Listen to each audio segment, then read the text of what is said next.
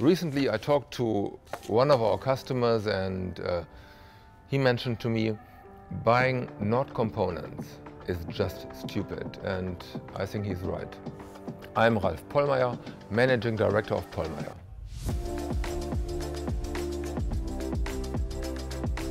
There are all kinds of reasons which makes it very difficult for many customers to cut up hardwoods in an efficient way. Latest technology makes it much easier to cut up hardwoods. Uh, first thing is scanning technology. Uh, that technology has improved in the last uh, five years a lot and also robots have gotten much better in, in efficiency and in prices and the combination of scanning and uh, using of robots allows us to really, really reduce production costs. But at the same time, their technology is quite expensive and uh, it takes a lot of volume to justify those big investments. Uh, let's say one single cutting line, uh, having scanning, scanners and having roboters can easily cut up 100,000 cubic meters of lumber per year and uh, there is just no single customer in the world who uses up 100,000 cubic meters of lumber.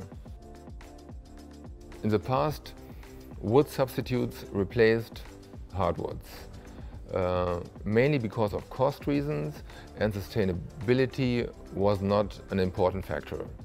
There is an increasing consumer demand for sustainable and affordable products. This means hardwoods will play a bigger role in the future in the furniture production, but they need to be affordable. Two factors enable us to produce at low cost. Uh, the first factor is, let's say, using modern technology like scanners and robots to reduce production cost, use less labor. The other reason is, let's say we have, due to our wide customer base, we have a really, really big variety of sizes we can produce and that variety really allows us to have a minimum waste. The component production process skips the traditional lumber grading and stacking process, which means re-edging, grading, manual stacking, packaging. We have lower production costs to produce one cubic meter of components than to produce one cubic meter of lumber. That's amazing. We pass those cost savings directly to our customers because we want to be the first choice of our customers. How do they look like? They usually have warp, twist, bend. They're difficult to machine, which means at the end of the day, the usage of those products is really costly. Pollmeier components are being cut up after kiln drying and after surfacing. Uh, that means they are precise in thickness, in width and in length. Uh, you can just use them as they are. At the same time, Pollmeier components offer the same quality features as our uh, sawn lumber. Means it's surfaced, it's well kiln dried, it has a moisture range from 7 to 9% and a very attractive growth ring structure. Why are Pollmeier components more sustainable? There is a very simple answer. Any kind of production uses resources. Our products are more sustainable because we use less resource.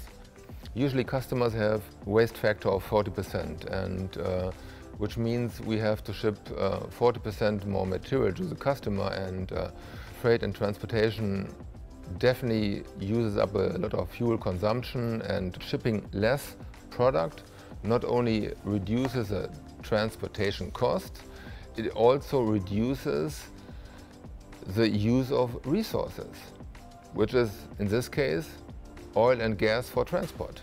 All our side products occurring in production are being used for other products, like the chips are being used for paper, the sawdust is being used for MDF or particle board production. The sanding dust is being used for briquette production, for heating, and uh, it means there is nothing left over for waste.